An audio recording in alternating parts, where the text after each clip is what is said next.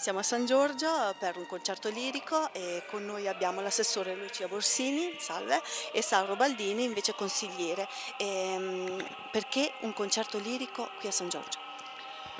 Qui a San Giorgio questo concerto lirico l'abbiamo voluto fortemente noi dell'amministrazione per un'educazione a una certa musica, ai, ai cittadini, perché sono abituati ad altro genere di musica, la musica lirica eh, se uno l'incomincia a capire è una bellissima musica, è un insegnamento a una certa cultura.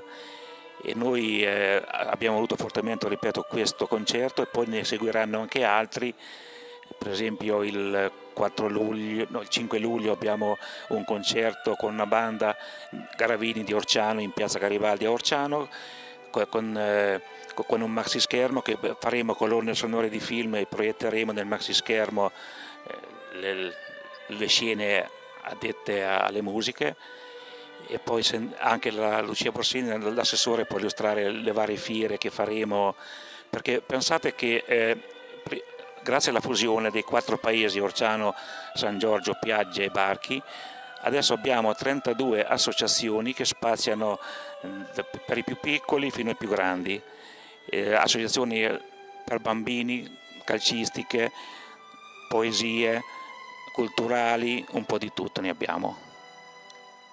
Lucia, passiamo la parola a te, ci spiegherai un po' quello che volete fare già da questa sera e in avvenire.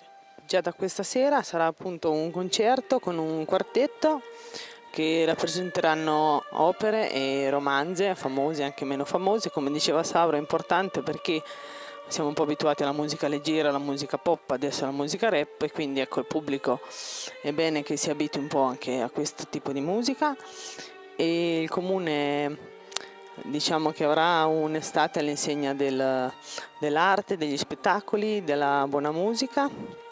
E ci saranno iniziative dedicate alle famiglie, quindi ci saranno quattro serate dedicate ai bambini con la partecipazione di un'associazione di Rimini, Ludobus, poi spettacoli teatrali per bambini, per adulti e sia anche eventi come il 25 aprile, adesso fra due settimane ci sarà la fiera di San Giorgio, a maggio la fiera Lubacari a Piagge, quindi ecco parecchi eventi per far sì che il comune sia più frequentato da, anche da altre persone di altri comuni e venga così no, eh, rinnovato il, il piacere di visitare questi luoghi che a volte vengono un po' dimenticati. Ad agosto cos'è che farete? Agosto eh, c'è il mercato antico di San Rocco Orciano eh, con i piatti tipici della zona, i piatti di una volta. È una festa che si fa da tantissimi anni, il 16 e 17 agosto. Poi il eh, 5 luglio, da, da, quanti eventi abbiamo uno non riesce più neanche a ricordare le date giuste. Abbiamo la famosa tavolata sul castello a Barchi, in pratica sempre un minimo un paio di cento persone, 200-300 persone che mangiano lungo il viale di Barchi, è una cosa bellissima. E io la vedo che bisogna tornare alle origini, bisogna tornare come una volta, si sta meglio, più felici, con, con tanta semplicità. Se stava meglio quando si stava peggio. Se stava meglio quando si stava peggio, esatto. Noi vi ringraziamo, Sauro, grazie Lucia, grazie. grazie.